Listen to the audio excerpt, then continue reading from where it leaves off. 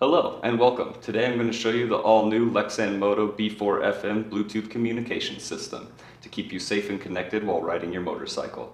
In this video I'm going to show you what comes with the single rider kit and I'm also going to show you how to install it into your helmet quick and easily.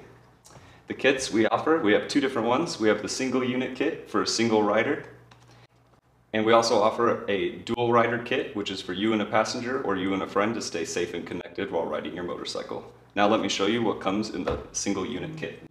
We have the mounting bracket for the unit, which comes with these tabs to squeeze it into place onto your helmet so it won't fall off. And if that won't work, we also have a 3M mount that will stick to any helmet and will make the system work. Comes with two high quality speakers for your left and right ear. Comes with two separate microphones. You have a button microphone for a closed face helmet, and you also have a boom microphone, which is for open face helmet. Comes with a charging cable and it comes with the unit itself, which also features larger buttons that makes it easier to use while riding your motorcycle. And this is everything that's included in the single unit kit. Now let me show you how to install it into a helmet.